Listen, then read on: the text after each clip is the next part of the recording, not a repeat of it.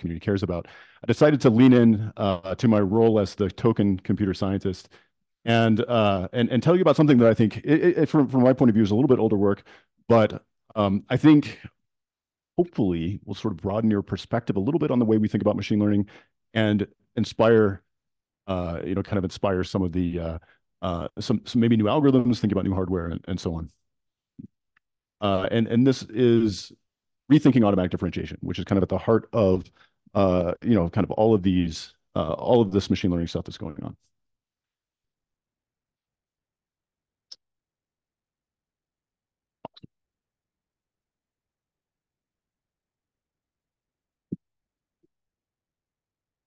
Yeah, let's just hit just hit play up there. Yeah.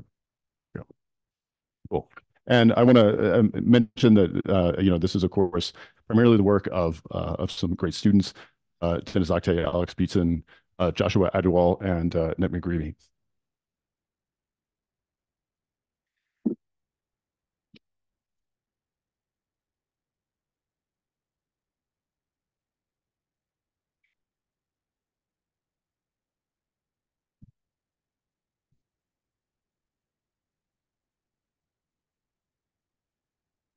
All right, good, thank you.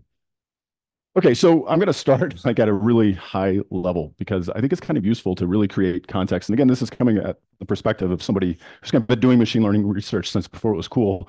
Um, and the uh, uh, you know, and we sort of break things down, right, into into broadly speaking, kind of three different categories. We think about supervised learning, things like classification and regression, right, where we're essentially trying to learn some parametric conditional probability distribution. Uh, we also like to do unsupervised learning, where we can think of that as modeling sort of a joint distribution over everything. Uh, so here we might think of that as kind of the, the labels and the inputs together. Uh, this maps often to things like kind of density estimation, compression, of course, generative AI sort of falls into this space. And something I, I sort of said in a Q&A the other day that maybe raised eyebrows was the kind of statement that this implies this. And this is just a, this is just Bayes theorem, right? It's just saying that if I have if I have a parametric form for the uh, or the joint distribution of everything, then of course I can ask for conditionals, right? And so uh, generally speaking, if I can solve this problem, I can kind of do everything I want. Uh, we also do think about reinforcement learning, which kind of takes a lot of different forms. Broadly speaking, we're trying to take actions in some sense to maximize utility. Often that's over time. We think of that as sequential decision-making, control, planning, bandit algorithms. Uh, these kind of tend to land into the, the sort of RL space. And deep neural networks, everybody's super excited about these, deep learning. Um, know, they're they're powerful, massively parametric function approximators, uh, and they're really useful for solving all these kinds of problems. But I just want to say that this is not the only game in town. There's lots of ideas, and you want to use the right tool for the right job. Deep learning is often the right tool for the right job, the job, but it is not always. Conceptually, the way we approach these kinds of things is, uh, you know, we're after generalization, and this is fundamentally solving the problem of induction, like looking at past and trying to guess what's going to happen in the future. In general, that's impossible. Right? That's not a thing that we can expect to be able to do in the absence of making a lot of assumptions about the way the world works, uh, which obviously we're happy to do, but it's worth saying out loud that this is a thing that's important. And, uh, and often in machine learning, we refer to this as the inductive bias. What kinds of things, what kinds of structure I expect to be able to learn from the world? And we encode this in, for example, deep learning by thinking about architectures and regularization and so on, and invariances. Variances, this is kind of a different talk, but I think deep learning is, was kind of the wrong word for this whole area. The depth, I think, is less important than the invariances that we generally build into these things. So here I'm thinking about things like convolutional neural networks, transformers, and so on. The magic of that is sort of the groups that sit beneath the data and not the, uh, I would say that the depth is kind of useful, but not, not necessarily the most important part. Um, on top of this, of course, we need some kind of inductive principle. And this is something that I think is, is kind of can get lost in the weeds when we think about physical systems uh, often, right? Because we like energies and things. And energies are great because we can often map those to probability distributions and then think about things like maximum likelihood. But broadly speaking, we need to have some sort of fundamental principle about how we move from things we've seen before to how uh, to, to sort of things we're going to see in the future. Maximum likelihood is maybe sort of my favorite thing for this, although Bayesian inference maybe is, is arguably better. Um, but for the purposes of this talk, this all kind of falls into this category uh, that we often refer to as empirical risk minimization, which is this idea that we have some finite data set. We're using that to represent, uh, you know, to be a sort of representative sample of, of like kinds of things, uh, you know, the distribution that underlies the world. And we're hoping to fit some set of parameters such that we can do well on data we've never seen before. And so, you know, we have this word minimization here. And so uh, usually when we do machine learning, we are doing optimization, but not always. Of course, this is an old field. These days, we think of machine learning as being the AI that works, right? AI has been around for a long time. Machine learning has been around for a long time. Um, and suddenly, we like sort of put an equal sign between these things. Uh, but I, actually, as that last talk wonderfully motivated, you know, there's a lot of, uh, you know, we've been doing this for a, for a long time. Uh, and in fact, the perceptron going back to, uh, you know, going back to sort of 1957 uh, as a physical piece of hardware, and uh, and our kind of modern sort of framing of the artificial intelligence problem kind of goes back to 1956 or so. Um, and so we've been doing this for a long time, and then suddenly it seems like it's gotten very exciting. Of course, it's worth worth asking why did it get exciting? And the uh, you know there's a couple of obvious answers.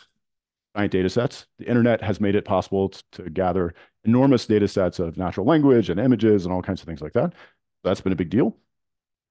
GPU computing, as we've talked about a lot, um, has you know, been a game changer for this because so many of these models just depend on doing matrix vector multiplications really fast. And um, that is a, uh, and that's something we've gotten pretty good at. And then of course, large bags of money have uh, have also contributed to this massively. And this kind of boil, this is generated with ChatGPT, of course. The um, uh, and what it boils down to here, right, is that there was a moment, uh, I don't know, sometime between 2010 and 2015, where uh, big tech companies realize that advances in machine learning hit their bottom line on like ad revenue very, very, very quickly. And uh, because you know you get a recommend, you have some recommendation on Amazon, ad gets shown to you uh, on you know Google search or whatever. Uh, the machine learning algorithms are sitting behind that, and so uh, you know we're talking about like hundreds of billions of dollars of market cap tied up in in uh, things that fundamentally flowing through machine learning companies realized that and started throwing outrageous amounts of cash at this problem. And so here we are. But there is another thing. Uh, and this is the subject that I want to talk about today, which is, I think, an unsung hero of all of this, of course, is automatic differentiation.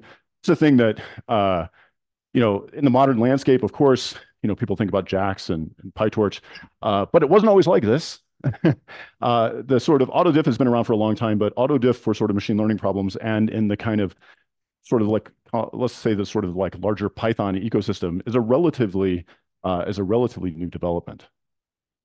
The way it used to work, right, was that you read machine learning papers, you write machine learning papers, and sort of like in the battle days, a big big part of the paper writing was deriving some gradients, and you put those gradients in the paper so that people could code them up. Uh, and this was kind of like an intellectual contribution. Like this, so, this is the LSTM paper, which is an unbelievably influential recurrent neural network paper. Uh, you know, and you like flip to the appendix and you've got a bunch of gradients, right? And uh, and that was kind of like a big, big thing that people would do. Uh, but nobody does that anymore. Like, why would you ever do that? Nobody does, needs to do math to do machine learning these days. The uh, you just need to be if you write a paper, like you know, so this is you know a very very famous paper. Uh, now all you need to be able to do is communicate somehow to the uh, you know to the reader what the function is that you were trying to compute, and then whatever gradients you just ask PyTorch for those. And so you get these figures, you know, kind of like weird sort of data flow diagrams and things that kind of look like math, but are really almost like pseudocode or something. I mean, nonsensical from a mathematical point of view, but uh, but you can kind of you kind of like know what they mean, and so you could write that you could write that code for that. Uh, and so this has been a really big, you know, like a really big change in the way that this research has gone. And it's been very exciting, right? Because people can rapidly iterate on all these different architectures without having to derive any gradients, without making those mistakes, whatever, they can just they can just write code and try things. Uh, and that's been exciting. But it, you know, there's also a sort of like a less charitable view on this, which is that uh, it's resulted in a kind of like, let's just sort of throw things, uh, throw pickles against the window and see which ones slide down fastest. Um, and uh, this is a Billy Madison reference. The uh, uh, and you know that that because it's so cheap and easy to throw pickles against the window and try different deep learning architectures, we don't need to understand them. Uh, we don't need to sort of analyze them. We just spam them out and see what happens. And uh, that's a little frustrating from an intellectual point of view, uh, and also from the point of view of like really trying to figure out what the hell's going on here. Um, but one of the really exciting side effects, of course, of automatic differentiation is that it's made scientific uh, computation easier. And uh, and I think sort of for this crowd, think of this through the lens of it making sort of uh, make it a lot nicer to build different kinds of solvers and, and simulators. Uh, you know, for example, you want to write some kind of you know you, you want to code up some to solve some uh, mechanics problem. You know, essentially, if you write the code for your Hamiltonian or Lagrangian, you're going to get the equations of motion for free with Autodiff, right? You just they just sort of pop out. You get that code with sort of no additional work. Uh, similarly, people have been really excited lately about uh, you know neural net ansatz for uh, for wave functions. So here's like the FermiNet paper from DeepMind uh, trying to uh, sort of solve the solve the uh, you know electronic Schrodinger equation using a using a neural network. Um, the, uh, you know, here again, this is fun because the Laplacian, you know, super easy to get. Uh, it, uh, you need that for the Hamiltonian. So, uh, so you can just ask the computer to give it to you very cheaply, then that's, that's cool.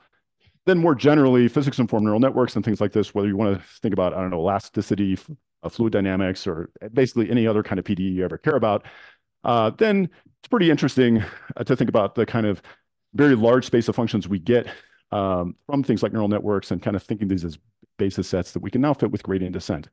I, I will admit to being a little bit of a physics-informed neural network skeptic, but it's nevertheless exciting to think about how we can kind of like pull all these things together. Then, of course, more generally, outside of just building conventional simulations, it's also cool that we can make these simulations differentiable. That's already come up several times uh, in talks here. And so people have been thinking about this for robotics. Uh, you know, like here's some crazy like elastic robot. Uh, I think this is using like the material point method. Uh, here is uh, this this cool uh, work that came out of Google, building a, differentiable molecular dynamics simulator. Then, of course, people think have been thinking more generally about how to use these kinds of things to accelerate uh, PDE solving. And what gets me excited it, as well is that it allows kind of interesting and tight coupling between physical simulations you might, might want to build and machine learning models to integrate with them and take advantage of them. Uh, so we've been excited, for example, about integrating machine learning models with things like mechanical metamaterials that can uh, can exhibit all kinds of interesting nonlinear behaviors that are, are, sort of difficult to get otherwise. So here is a thing we call a neuromechanical autoencoder, simultaneously trains a, uh, a neural network to sort of determine the boundary conditions of, uh, of a uh, mechanical metamaterial, the geometry of which has been jointly trained by a differential simulation, differentiable simulation. Then other things are a little bit more conventional, like thinking about learned model order reduction, using these kinds of models that allows you to, uh, to reduce the degrees of freedom in like your finite element analysis. So what I want to do now is explain to you what automatic differentiation is. I suspect everybody knows what it is, but there's but also often I think people treat it as a black box. So I think it's worth spending a few minutes talking through it. And fundamentally what it is, is this, uh, this kind of system in which I can write code to implement some function and I get the Jacobian of that function at, with no additional work. And what makes it really amazing is that when you only care about a row or a column of the Jacobian, so you only care about a gradient, example, but also a tangent, then you can provably get that quantity uh, in a sort of a small, that you can compute it in a small constant multiple of the cost of computing the original function. And here that small constant multiple is like, you know, like four, okay? So, uh, so interestingly cheap gradients, and that has of course informed this whole thing. And you know, the way this works, again, I'm sure people are pretty familiar with this. This is a uh, tool that we developed in my group called AutoGrad back in 2014, 2015, that is kind of the, uh, it, well, JAX, right, stands for just AutoGrad and XLA. And so my former students and postdocs that went to Google uh, built JAX after building this. And PyTorch is more of a spiritual successor in that it kind of took advantage of, you know, it was kind of um, used it as an inspiration for its trace-based autodiff. But, you know, the name of the game here, right, is you write some function in NumPy and, um, you know, and then you have this higher order function. It gives you back whatever gradients you want. And in the case of of uh, tools like like uh, AutoGrad and JAX, then you know we get uh, you know it's closed. We we can apply it as many times as we want and get all of these all of these higher derivatives as well. So this is pretty cool. And of course, the way we use this in uh, in sort of modern machine learning, uh, and all this is kind of obvious now, but I, I want to emphasize that this was not the way you could do things in like 2014. this, uh, at least within the sort of Python ecosystem, we write down some neural network function, we write down some loss. Um, that uh, you know kind of encodes our our um, sort of idea of um, whatever our sort of inductive principle is. And so you know this is like uh, inductive bias, uh, inductive principle, and sort of empirical loss minimization, right? And then of course we get the uh, the gradients of these things for free, and and so like I said, this is just you know what everybody does now, but I, I want to sort of emphasize that uh, relatively recently this was this was uh, this was new, and so the question is how does this actually work? Way it works is, or like at least the perspective that I like to have on this, um, is that we you know we write down some function. We can think of that function as producing a computational graph in which the vertices correspond to these intermediate variables and the edges represent the sort of parental relationships on how, or the dependence on how these things got computed. And then uh, what we do with the autodiff is we think about the linearized computational graph in which now the uh, partial derivatives of sort of vertex with respect to vertex on that edge, all of the edges. And then we do, one way we could think about the chain rule is we can think about it as a sum over paths. If I want the derivative of f with respect to x1, say, then what I can do is think of that as a sum of all the paths between those two vertices. And within each path, I'm taking the product of those partial derivatives that are represented by the edges. And so, uh, so we wind up with this, um, this sum over products. So sum over paths product over the edges in that path between those vertices. This uh, is one way to kind of think about what it means to compute a, uh, a Jacobian. And of course, this formula is a terrible way to compute it, it should be said. Uh, and so we have clever algorithms, dynamic programming, that allows us to, uh, to sort of solve annoying graph problems very efficiently. That's exactly what automatic differentiation is doing. So we have that linearized computational graph. And what we're going to do in order to sort of perform automatic differentiation is we're going to perform vertex elimination. And what that means is have some vertex and we're going to get rid of it by sort of rolling those edges into the into adjacent vertices, into uh, adjacent edges. There's a collapse out at uh, that vertex, uh, vertex B in this case. And, uh, and we can choose some ordering. In this case, I'm going from sort of uh, inputs to outputs. And this is this kind of topological ordering uh, of doing the vertex elimination. And what happens when we eliminate all of them we get edges just between the inputs and the outputs. Those are the derivatives. That's those are the entries in our Jacobian. If we do it from inputs to outputs in this schedule, then we get what's called forward mode automatic differentiation. Of course, could do it in a different order if we chose. We could instead do it from outputs, inputs, and uh, eliminate vertices that way, right? We could kind of walk backwards, get the same answer, of course. Uh, and this, the algorithm that we call backpropagation. And this, of course, uh, gets a lot of attention and is a thing that is often presented in this kind of mysterious way of errors kind of moving backwards through time or something. But uh, it is, it can be understood as uh, a dynamic program on this linearized computational graph and what's kind of neat about that, well, I'll come back to what's neat about that in a second, but an annoying thing about that, I should say, is that uh, it, it means that we need to store all of the intermediate state when we're doing the forward pass in order to be able to walk backwards through these things. There's another view that I think is kind of worth, uh, worth keeping in mind as well. We're talking about forward versus reverse mode, something that doesn't necessarily require you to think about graphs very much. You just think about function composition. You know, here's our sort of cartoon uh, neural network with where we have a bunch of functions that we're composing, want to compute, say, the gradient of that composition. And that gradient, in the case of this kind of very simple composition, is just going to be a product of bunch of Jacobian matrices for each of the composition. And of course, matrix multiplication is associative, right? So we could choose any order for this that we want, right? And if I chose, well, and so matrix matrix multiplication, at least kind of like naively, is cubic, right? Strassen's algorithm notwithstanding uh, and matrix vector multiplication, quadratic. And so there's an interesting difference in deciding how I want to do my associative rules for matrix multiplication here. If I go right to left, then it's going to be a cubic algorithm. And if I go left to right, it's going to be a, it's going to be a quadratic algorithm. And there you go. That's why we like uh, that's why we like reverse mode when we do uh, when we do um, uh, optimization problems because we have a lot of inputs and a scalar output and so if we do it backwards, then we get uh, then we get a quadratic algorithm. But of course, maybe we're parameterizing a high dimensional vector field with a small number of parameters. That's the thing we might want to do.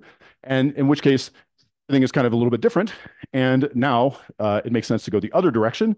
Of course, in that case where we have a large fan out, that's exactly where we'd like word mode. But an important point is these are just two extrema of all the possible schedules we could have. These are not the one true, the two true ways compute uh, to, to solve automatic differentiation. You choose any schedule you want, and different schedules might have different properties. And so here's a, a sort of a schedule that is not forward or reverse, and actually is cheaper than both of them in this case, in terms of the total number of arithmetic operations. Uh, now, finding the uh, finding the best schedule NP hard, so that kind of sucks. So reverse mode often is the right is the right approach to things that we uh, uh, that we care about. All right, now that's all been pedagogical background, and then we're almost out of time. But uh, so what I want to do though is I, I is I kind of want to make a particular point on the next slide here, which is so so he's been around for a long time, so this is not new, and um, it is, and there is a community that, that focuses on research on it and has for a long time. Disconnect, I think, largely has been that that community has kind of focused on the kind of applied mathy kind of domain. Think about solving PDEs where you need exact um, exact derivatives. And there's this kind of mantra that informs all of this, which you kind of see in different papers about AD. It's got the first sentence in lots of papers about AD in some sense, which is uh, it's great because it's as exact as symbolic differentiation, but with no expression swell. So um, this is contrasting it with like finite differences, which is both slow and inaccurate, um, and trying to kind of um, make the case that symbolic differentiation is a different thing. Um, so I think there's a reasonable argument that if is symbolic differentiation just done with a compiler. Um, in any case, this win that I think we've all thought about with AD for a long time is great if your goal is something like, I don't know, adjoint sensitivity uh, analysis. But what we're doing with these gradients is kind of taking a drunken walk towards the minimum sum uh, of some objective function. We're doing stochastic optimization, right? Some variation on stochastic gradient descent. And a question you might reasonably ask is whether exact AD is kind of baggage we should carry around if we uh, if we're doing stochastic optimization. Made a little more punchily, we are burning up the earth computing these gradients and we are computing them with high accuracy. You know, we're doing like using like numeric accuracy for single single precision floating point generally, and then we use them for an incredibly absurdly noisy estimate in which we take like a hundred data out of a hundred billion data, right, and uh, inform this Monte Carlo estimate. And so there's a it's like a crazy conceptual mismatch here. We're doing all this work to get the exact gradient when we like fundamentally don't care about that accuracy. Right? And it's not like this is kind of in the noise of, of the energy usage of the planet either, right? I mean, I think, you know, the, the cost to train some of these models is comparable to the energy consumption of like entire countries. It's this algorithm, right? so maybe it's worth thinking a little harder about autodiff than we usually do. The costs are so large. And so I'm going to tell you one way you might make it cheaper. This is not the only way, certainly not the best way, but it's just like, I, I, but I think we just need to broaden our sort of open our minds about what might be possible. And of course, what we really need in a sense is an unbiased estimate of this gradient, right? And that's what kind of what SGD wants. And when I see a sum like this Bauer sum, you know, I think Monte Carlo, importance sampling, right? I think I think about ways I might subsample that sum in order to uh, in order to do a better job. And of course, there is this immediate sort of naive thing where I could sample a random path from my sum and get an unbiased estimate of the gradient of the whole thing. Right? And so I could, you know, take these random samples from, from this graph and compute the product along that along that path, or I could do more than one if I wanted. And now I have an unbiased estimate of the um, of the gradient. And in fact, it turns out that what we always do is a special case of this. Right. So if you think about the problem we're trying to solve, as being this full batch gradient, right? Summing over all of the data. We take a subset of the data and you think about what's happening kind of at the end when you do that sum. And all we're doing is plucking off, we're sort of grouping the paths through this graph according to what data they touch. So we're bundling those together and grabbing some subset of those bundles of paths. So this is actually already what we're doing when we train these things. We're just, that's what mini batching is, that, that is actually what mini batching is doing. However, this naive view is definitely not going to work. I mean, it's cool and it's fun and it's like a conceptual framework, but even sort of like a relatively simple multi-layer perceptron, it's already going to have an exponential number of paths with uh, with depth, right? And the impact of that on our Monte Carlo estimate is going to be outrageous variance. And so probably we're not going to get much mileage out of this, uh, kind of as I've shown you so far. Have to take advantage of problem structure in some interesting way. Um, and this is both, you know, it's good and bad. It's opportunity, but it's also a little frustrating because we'd like something very generic.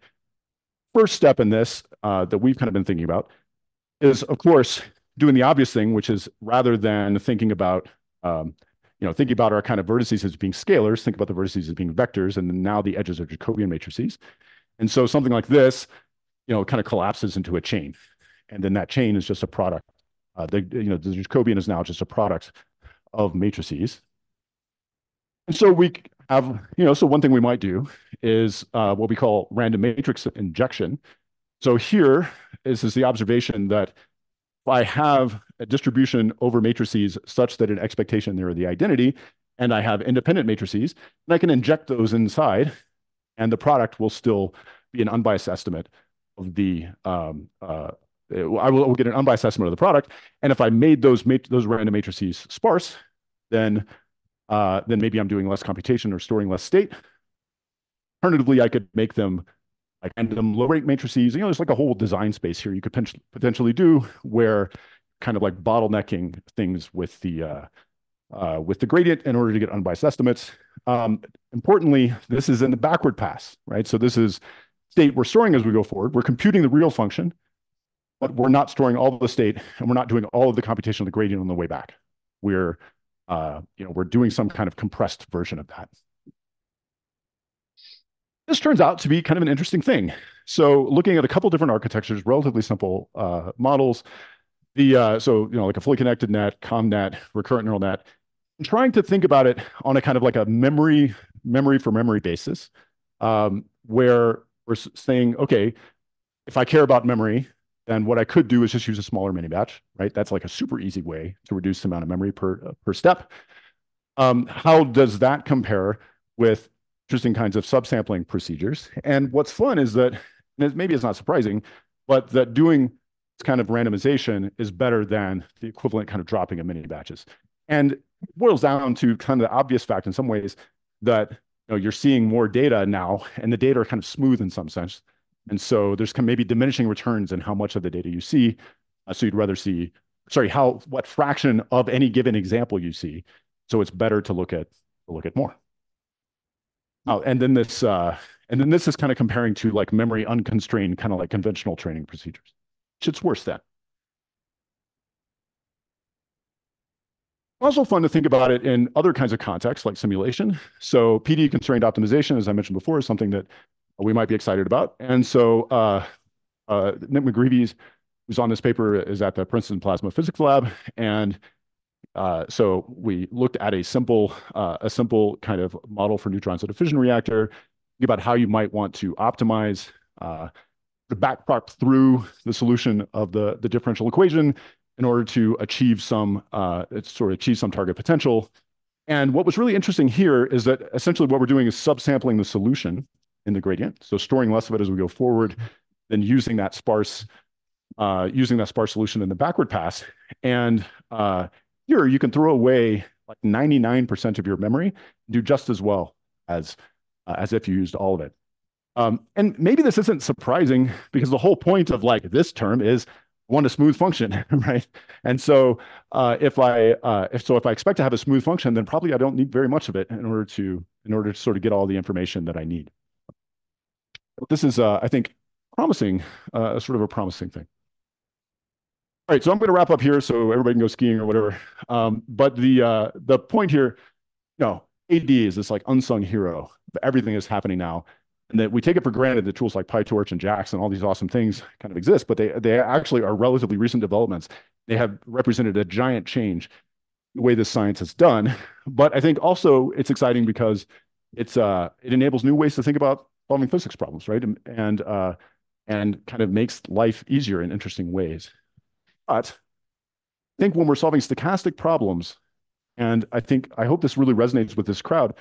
But you know, if we had interesting compute hard hardware that could take advantage of this kind of structure, uh, if we could think really rethink the foundations of the way we do this computation, the sort of potential for energy savings and cost savings is enormous. And it's ridiculous that we're doing things the way we're doing it now. It's utter, uh, it's just like total nonsense. And, uh, you know, here's one potential way to, uh, uh, you know, this is like one potential idea for thinking about it, but I think it's only one, uh, one of many possibilities. Um, I sort of talked about memory because it's very hard to take advantage of sparsity in modern uh, hardware for the actual compute. Um, but you know what? Like the folks in this room are thinking about all kinds of other architectures. And so I'm optimistic that, uh, that there's interesting places to go.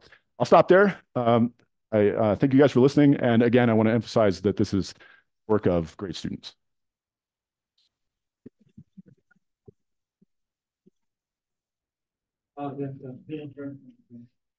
Thanks so much for, for the great talk. One of the most important points, giving your perspective. So the specific question I had was regarding the injection of the random matrices. Uh, you had this approach where you essentially you pick PI so that you reduce the dimensionality. Yeah.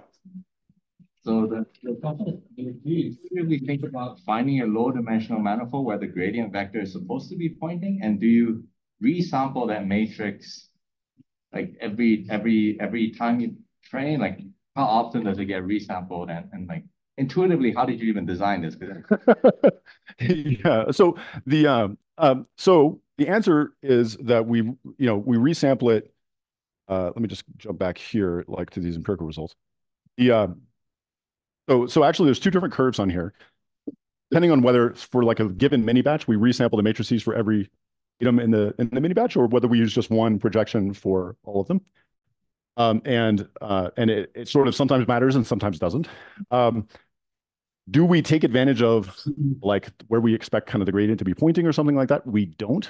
This is most naive possible approach to this, but of course we're good at engineering probability distributions in different ways, coming up with better estimators to lower the variance, uh, importance sampling and variance reduction. Like there's a whole world of things we could be doing that we're not doing here um, because this is just sort of the first take.